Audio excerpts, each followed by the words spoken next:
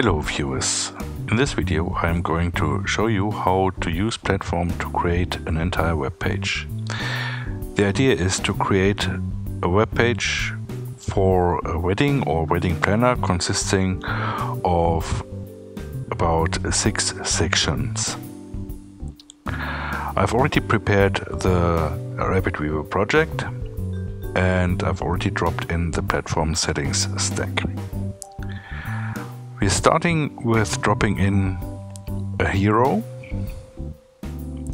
making this large, and instead of uh, putting in an image stack, we are going to use the image backdrop feature. Uh, let's go over to the resources and pull over this picture of a bride. Let's turn the image tiling off and set the image size to fill the whole hero stack. Now we are going to use a color overlay. So we're going to choose black here and uh, move opacity to a value which we like, like for example 30%. Alright, this has already the right contrast for us. Uh, now we want to put on some title and text. I'm going to use a one column stack as a container. You will see in a minute why I'm doing that. And now we'll drop in the title and a content stack. Colors, uh, the text color is not uh, what we need. We need something more contrasty, so we'll set the title color to white. And the same with the content, where we choose text color and set this to white as well. Now, if we look in the preview, we see that uh, the text goes right across the hero. We don't want this. I want it here in this uh, right hand section. This is why I'm using the one column stack. I am reducing the size to 4 and giving it an offset of 7, which brings it exactly where I want it. Okay. Now with this done, we will put in a three column stack as divider to the next following sections. And um, I want to display three pictures in a row. We could again drop in an image stack into each of these uh, drop areas. However, I'm going to use the section stack in each of these because if we use the image backdrop like with a hero, we can put some more uh, stacks on top of the image basically. So let's go ahead and uh, pull over a few images from the resources. And while this is loading, we're playing a little bit of music.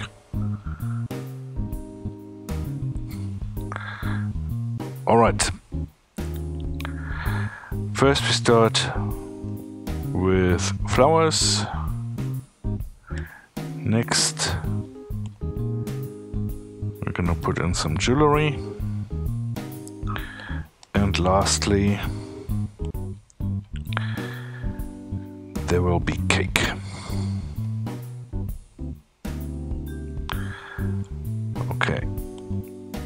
Just like before, with the hero stack we're turning off the tiling and set it to fill.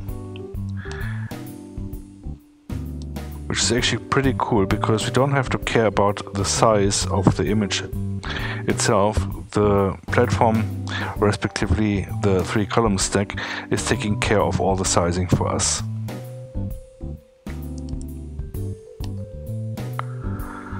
Okay, let's have a look what's spotting now. We have our main image on the hero and below we have a slither of images separated by gaps. So this is maybe not quite what we wanted, but it's very easily easy to to uh, change. With the columns, we want to get rid of the gaps, and the slithers we can get under control by setting the section size to medium for each of them.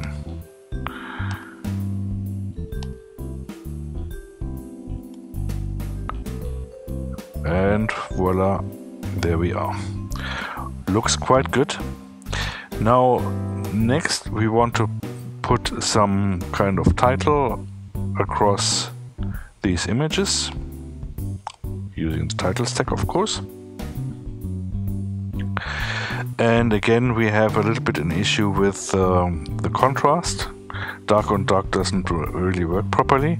Let's first ch change this to the word header. Have this centered and change the title color to white.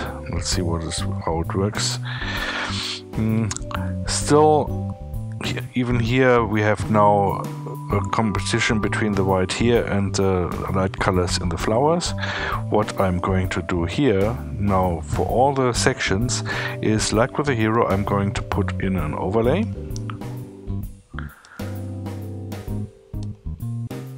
and set this to 30% again.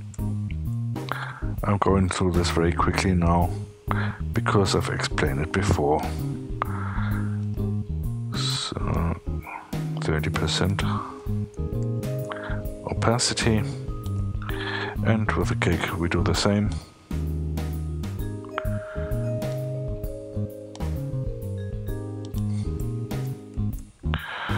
Okay.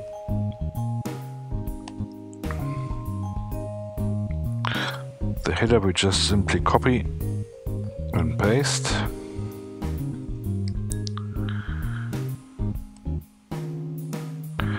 Now let's have a look what our result looks like. Pretty much the way I wanted it. Okay, one more thing I would like to do is I would like to have a line separating the main picture from the other three below. For that we go back to the hero stack and we're going to use the standard layout options and no border options sorry and put in a bottom border of 10 pixels and change the color to something which comes out of our color scheme. This is why I'm using this eyedropper tool and I'm going over here on the skin here of, of the arm and while this is a bit dark we can go to this kind of color selector and bring it up in its lightness until this is something we like. Okay, let's stay just like this here. Okay. Basically, this is done. Let's quickly control it in the preview. There it is. Okay, the next section will be more uh, text and I will put this into two column stacks which I will now fill with again a title and another title and respectively content.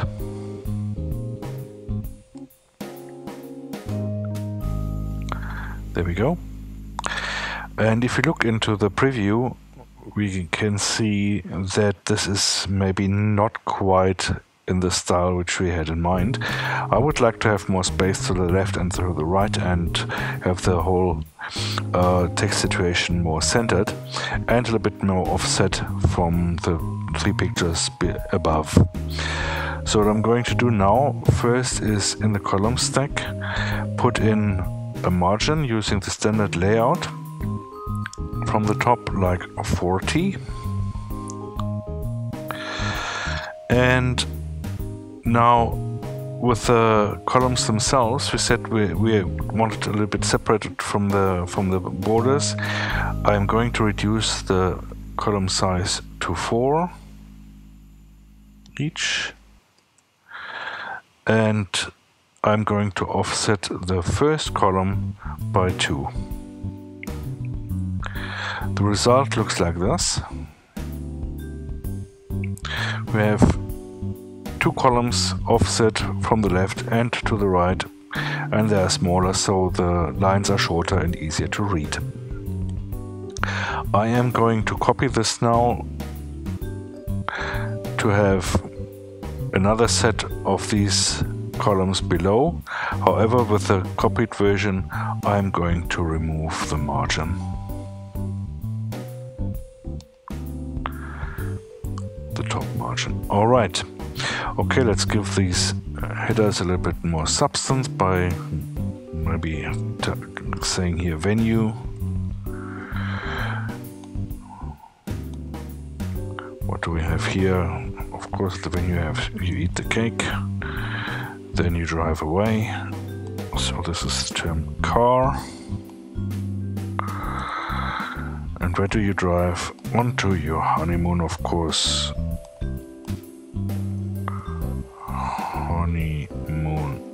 Okay, there we go.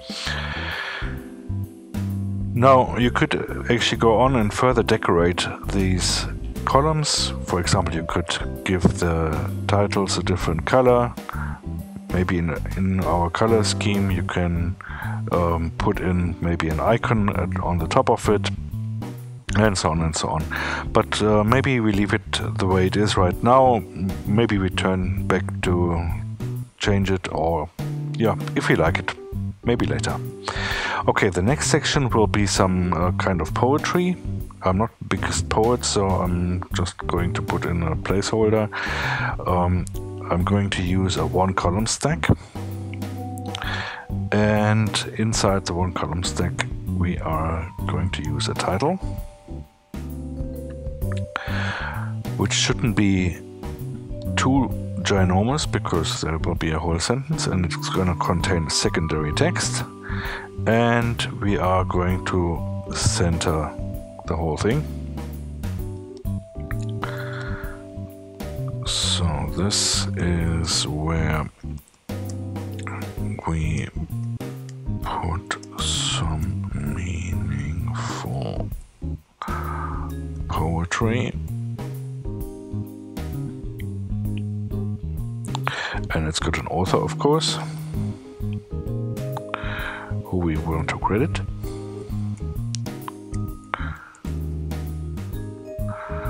And alright, maybe we make both the main text and the subtitle uh, or subtext uh, it italic.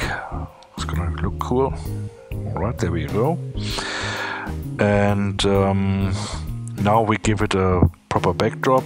We're going to use something out of our uh, known color scheme by using the color feature in the one column stack. Custom, uh, certainly not blue. We take some kind of skin. Now let's have a look and preview what we have created here. Uh, this is already quite a nice separator. Okay, now we can turn to the next section. Two column stack again. Here we're going to put uh, on the one hand side, on the left hand side, we're going to put an image. On the other side, we're going to put a text and we're going to offset this section from the rest by giving it a kind of a gray backdrop. Okay, let's first put in an image stack like this. Use the appropriate image from our resources. Taking this one here straight away. Close that. Go back to our two column stack and we know already that we don't like any gaps. so it will be gapless. Um, now we want a gray backdrop on the left on the right hand side color custom not blue we want gray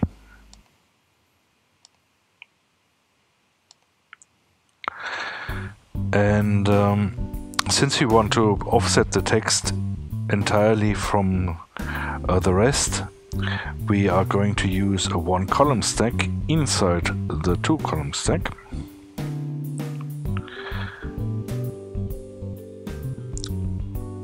Put in the title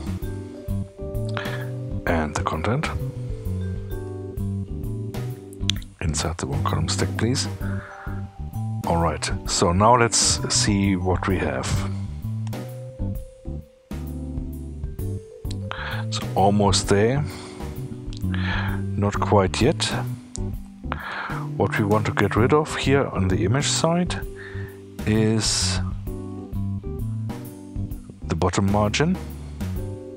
Let's see what this this has done. Now it's, it fills the whole um, the entire side of the of the column. Now we want to actually offset this text and this is why we are using the one column stack inside this column again to actually be able to give this a distance from the top by putting in a top margin of uh, let's say 40 pixels. Okay. And we want to offset it from the left that's why we are going to set the size to 11 and the offset to 1 and this is what it's going to look like in real life it's already very much where we want it to be. Now for the next section we are going to use a one column stack again. We are going to put in an image stack.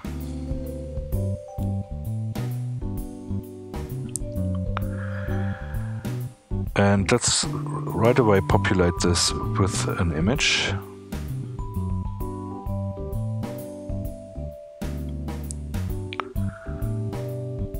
let's choose these feet.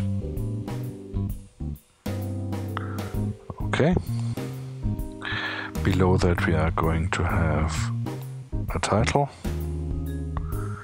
and text again.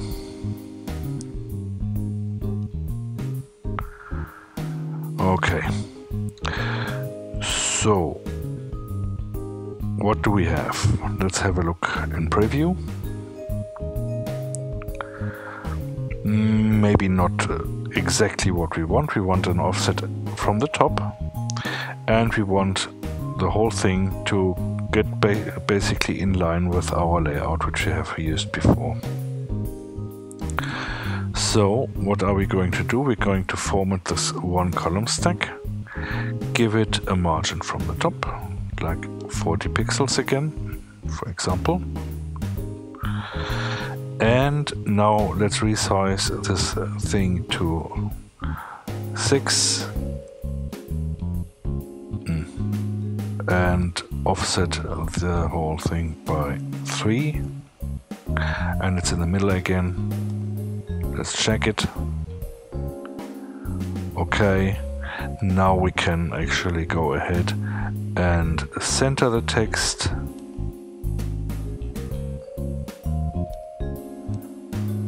For example here we could write about us and below this we can for example put a button which we are also going to center with the text contact us for example, for some kind of RSVP. And with a link, we are can, for example, go ahead and say mail to um, me at example.com.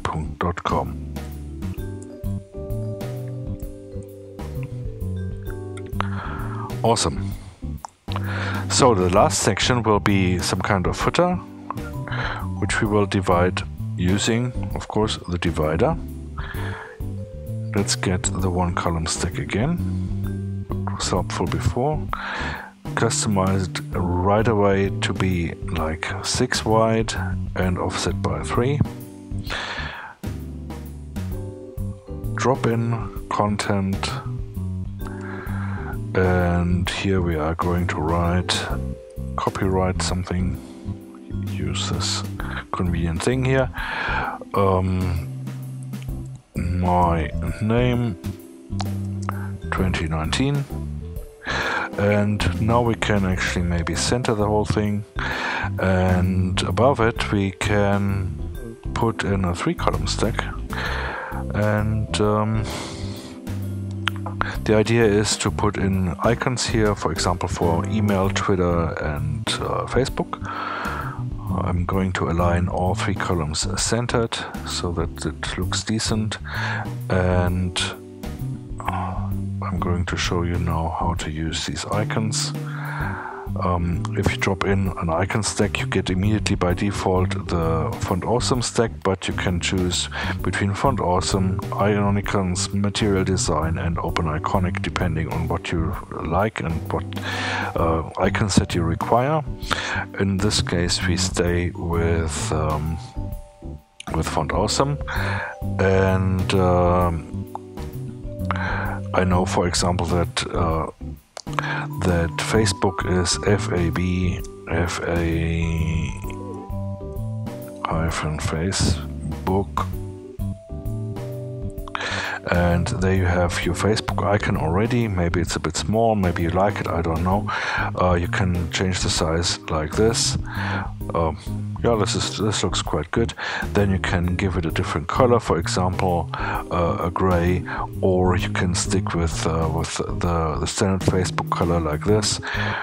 Um, depends on your on your on your kind of uh, uh, taste.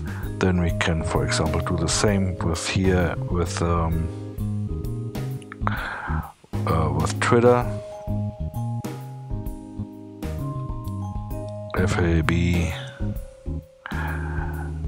FA Twitter.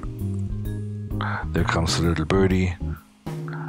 And same size of course. And yeah well I don't know whether we have an appropriate color for the Twitter bird but let's choose lighter blue. Almost looks like it. And lastly another icon I have no idea what we can use here now. Maybe email or whatever. I'll just leave it with the standard. Put the icon size two, two times like we did before. And there we go. Let's have a look. What we got. Looks quite usable.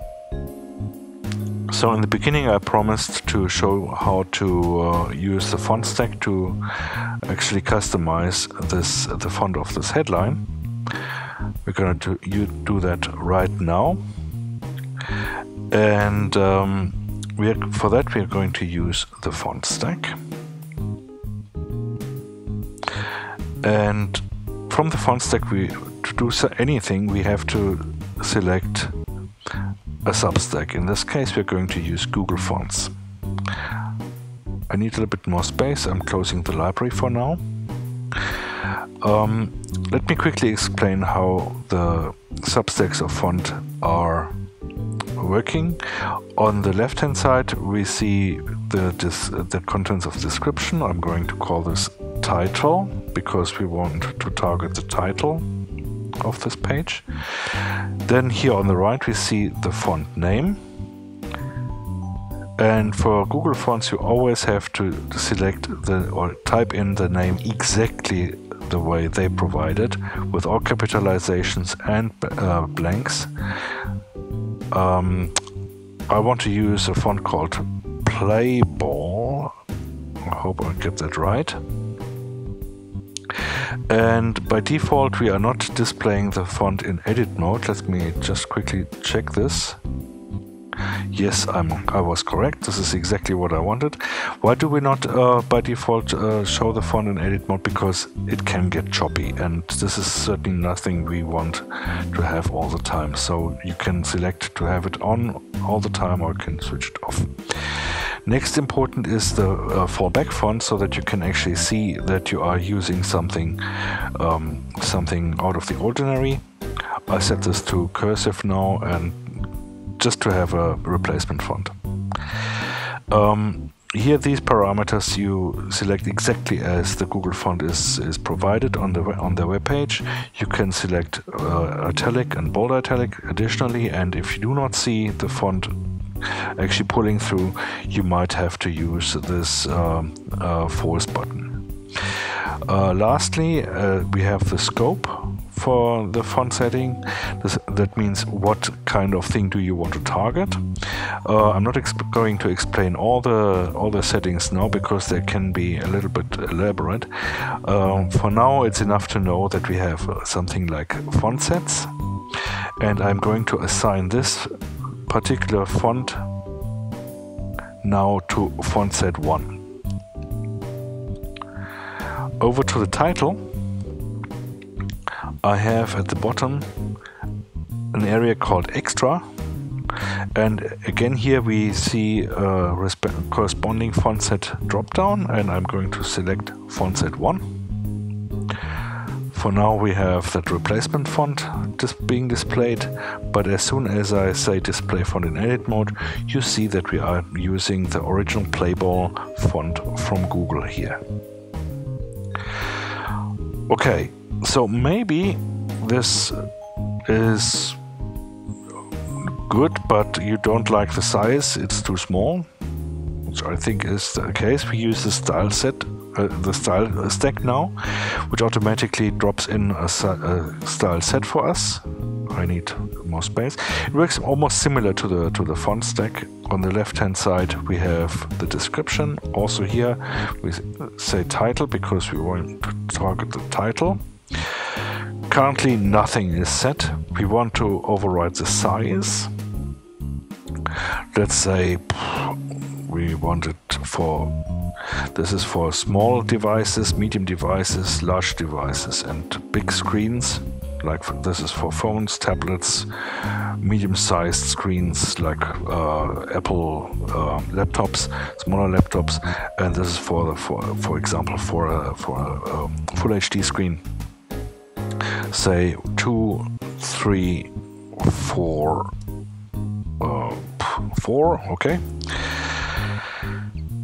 so the same applies here. We have to we have sets, but which we are called now style sets. We have eight style sets to select, select from. We're assigning this to style set one.